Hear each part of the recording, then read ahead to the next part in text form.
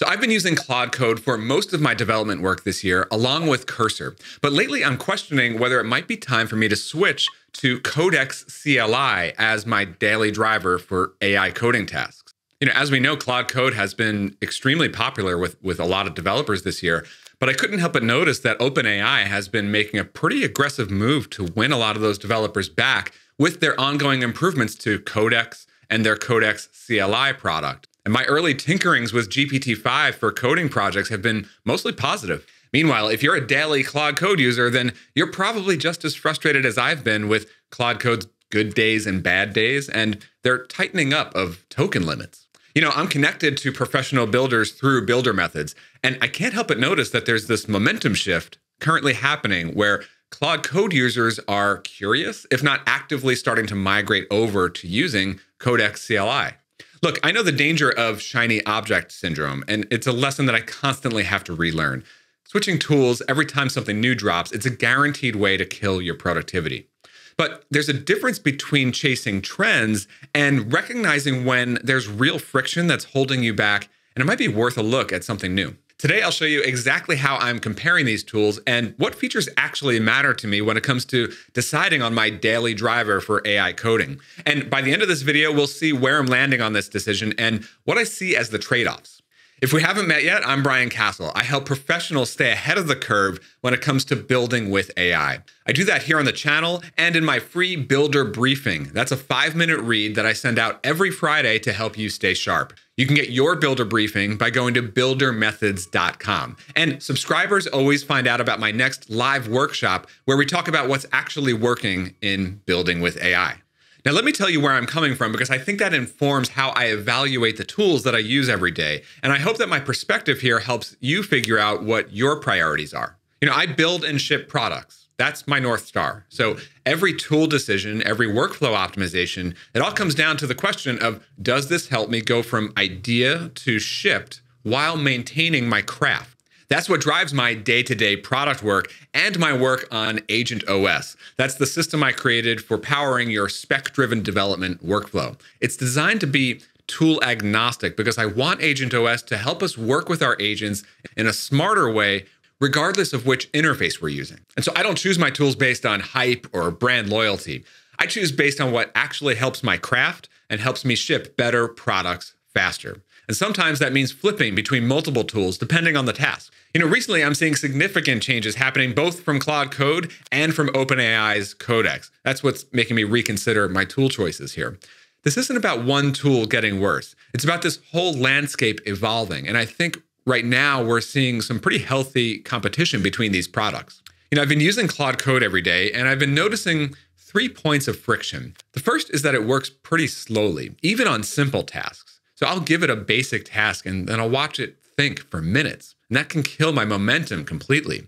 But that doesn't bother me so much on the larger tasks, since that's where I like to let Claude Code cook and let it work autonomously while I go work on something else. Second, there's this weird good days and bad days thing happening where sometimes Claude Code will nail some complex logic perfectly, and other days it just struggles with basic patterns that it handled just fine last week. And third, the token limits on Anthropic's max plans, they just keep getting tighter. I'll build out one feature using a spec with Agent OS, and boom, I've exhausted my entire allowance. And then I'm waiting for my next five hour window. And that's absolutely brutal when I'm in the flow. Meanwhile, on the Codex CLI side, OpenAI is making some moves. They dropped GPT 5 with the clear messaging that they want developers back. They even created GPT 5 Codex, which is a model specifically tuned for their CLI tool. And my early tests with GPT 5 in Cursor have been positive. The code quality is consistent, it feels snappy. And you know, when you see this friction increasing on one side and then innovation accelerating on the other, that's when I start to look around and see if a switch is worth it, even if the switching cost might be uncomfortable. So let's go ahead and take a look at Codex CLI and I'll give you my first impressions. So I'm here in Cursor, that's still my IDE of choice.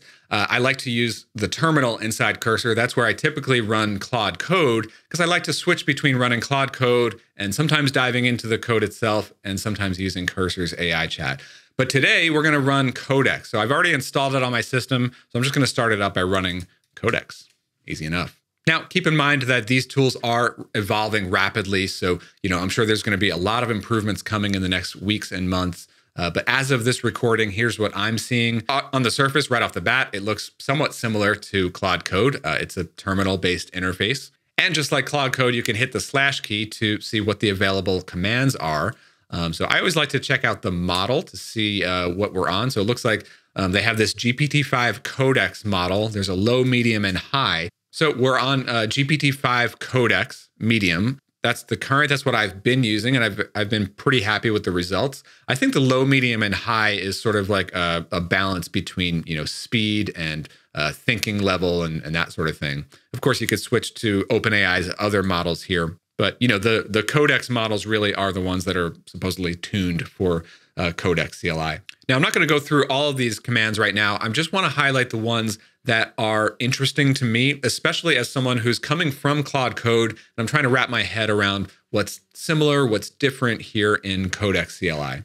So I see init, that's another uh, familiar command that we've had in Claude Code, which in Codex CLI will do something similar. It'll basically analyze my code base and then create uh, an agents.md file, similar to how Claude Code will fill out the claude.md file with you know uh, some information about the code base based on its own basic scan. And by the way, Agents MD is this uh, open source project. I think that it's led by OpenAI, but there are um, you know a bunch of other companies uh, that have sort of signed on to it. And what I really like about this project and this movement in general is this standardization across these tools. I, I like to see convergence of multiple tools starting to adopt very similar structures and similar features because it it helps us as builders be able to easily switch between them. And so um, OpenAI and Codex CLI are using this agents MD file as the main uh, memory file, if you will.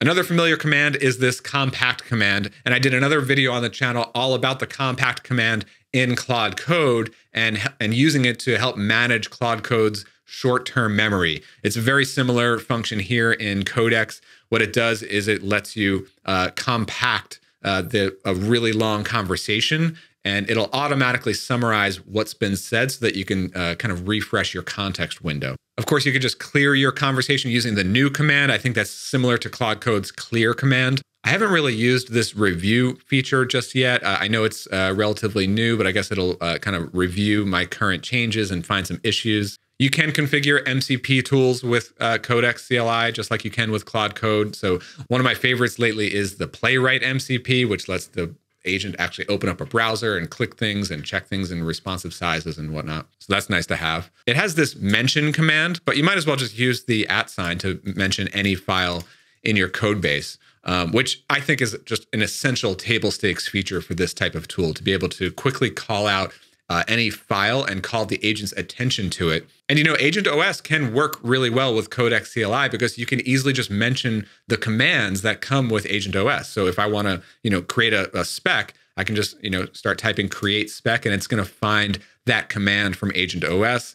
Uh, I can then hit tab to bring that into the context of this prompt and, you know, do something like um, proceed with this.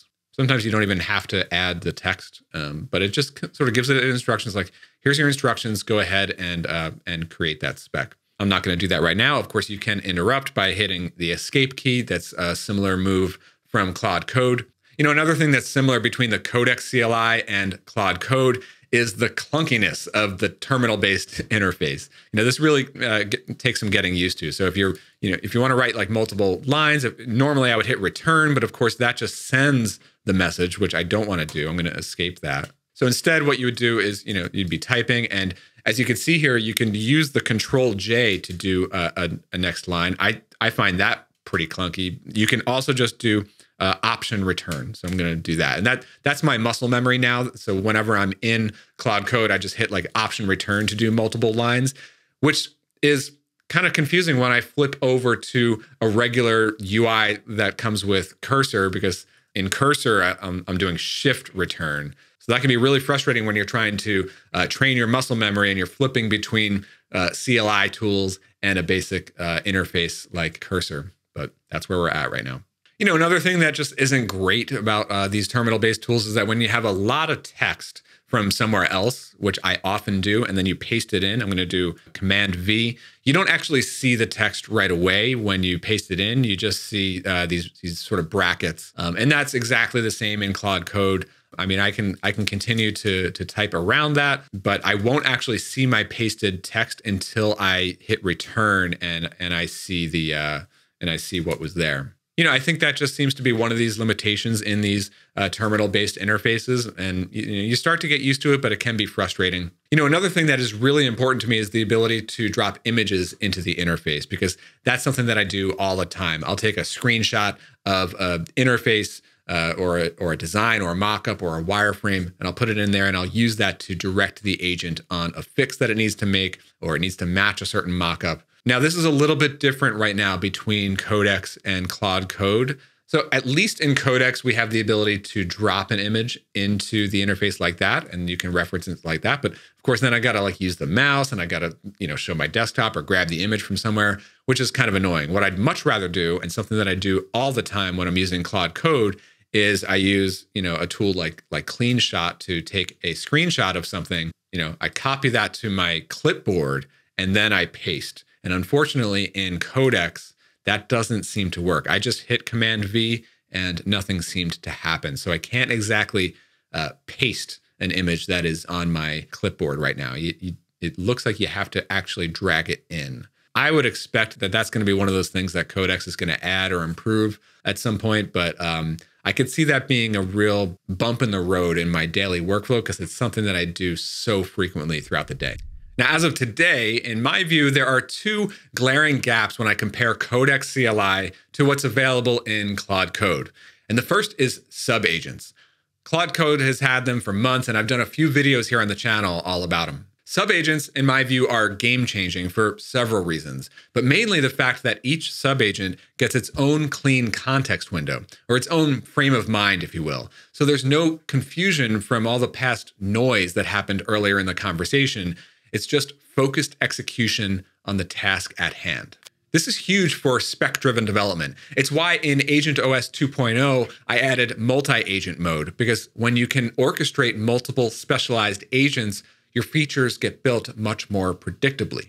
Now, I did come across this pull request on the Codex GitHub repo, which looks like subagent support might be coming in the near future, and I really hope that it does.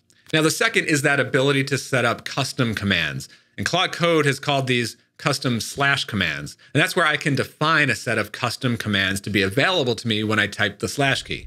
Now, the good news is that I see this PR on the Codex repo, uh, and they call it custom prompts. And this is actually already merged and available to use in Codex. They just haven't added it to the actual public docs yet. And this basically adds that ability to create custom prompts that you can call uh, with the slash key. And I tested it out, but I noticed that there's one difference in how it works in Codex compared to how it works in Claude Code. So you may have noticed that when I hit the slash key and I go all the way down, there's this uh, command called test command. And that's a custom prompt that I set up for my Codex CLI. However, I'm not able to define my custom prompts for Codex CLI here in my project, they have to go into the codex folder that lives in your system's home directory. So this is my home directory.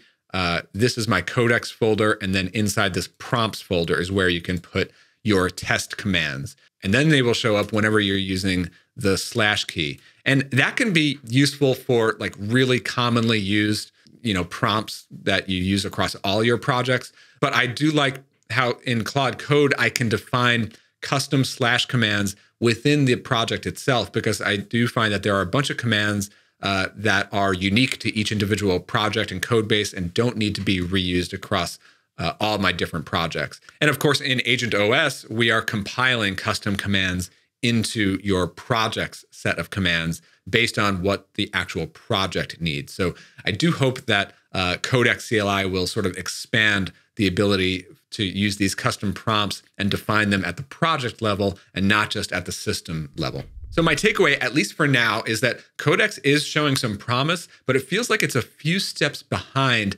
Claude Code as a product. Now the question is, will I be jumping ship from Claude Code as my daily driver to using Codex CLI every day?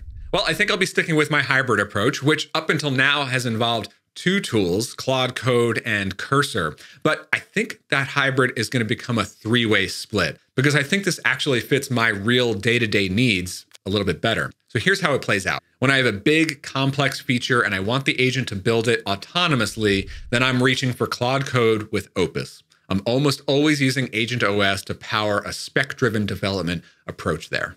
And when it's a quick fix or an iterative improvement, I'm still turning to Cursor because I think that that UI is best for those quick iterative changes. But I do think that Codex CLI can fill a middle ground, these medium sized features where I want both power and speed. And sometimes I'll use a spec with Codex since I can use Agent OS in single agent mode.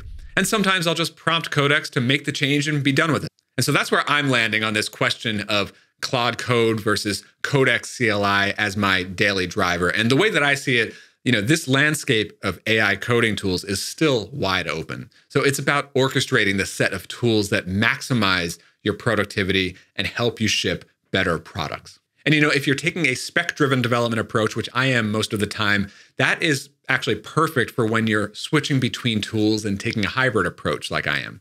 So if you're just catching up to what spec-driven development is and how it applies in a real-world setting, I want you to check out my video, Spec-Driven Development in the Real World. And that's where I'll show you a system that works regardless of which AI tools you're using. So right after you hit subscribe here, I'll see you in that next video. Let's keep building.